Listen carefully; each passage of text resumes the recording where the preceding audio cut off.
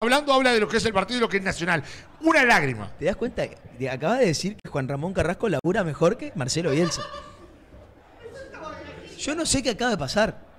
Es la realidad. ¿Qué No. quiere que le diga? No, él- si fuera la trabaja muy bien realidad, en si fuera la En realidad, cancha trabaja muy bien. Pero si fuera la Pero realidad, hay Juan Ramón Carrasco no hubiera dirigido toda la vida cuadros chicos, Le, le dije cuadro chico porque ha tenido problemas con los demás. Y aparte porque no es lo mismo Es un ser todo. que ser. Es un todo. A ver, todo. porque tuvo problemas. Pero a ver, yo te digo algo. Y porque acá en nuestra selección, porque Bielsa tiene banca. Pero a Carrasco le estaban haciendo lo mismo que a Bielsa. Lo que pasa es que Bielsa tiene un nombre y una espalda. Porque si fuera igual.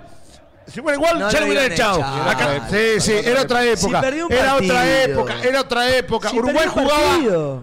Creo que, a- además de Bielsa, no sé si no lo vi jugar mejor al Uruguay de Carrasco que al Uruguay de Bielsa. Así se lo digo. El tema, sí, eh, la verdad, el partido frente a Brasil, en, en- Brasil, fue un espectáculo ver Uruguay. El partido frente a Bolivia, en el centenario, fue un espectáculo ver Uruguay. Frente al Chile también. El tema que cometía esos errores pelotudos que tiene, que hace que los temas arriba. Pero técnicamente, lo que trabaja en cancha, el tema que tiene, eh, el- su cabeza está totalmente rayada y hace que todo lo demás, lo bueno que tiene en cancha, hablo en cancha, usted no erre los conceptos, hablo en cancha, para mí es el mejor, en cancha. Ahora, fuera de lo demás, hace que sea mal entrenador, por eso no tiene eh, mejores trabajos como los que debería tener.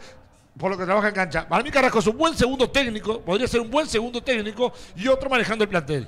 No, el Carrasco no va a ser nunca. No, obviamente que nunca lo va a hacer. Te hablo de lo que sería bueno él. No, lo que sería bueno de él es que, que- que no tenga tanto ego y que con solo Obviamente, laburo, pero ahí es otra ahí cosa. Creo que ahí sí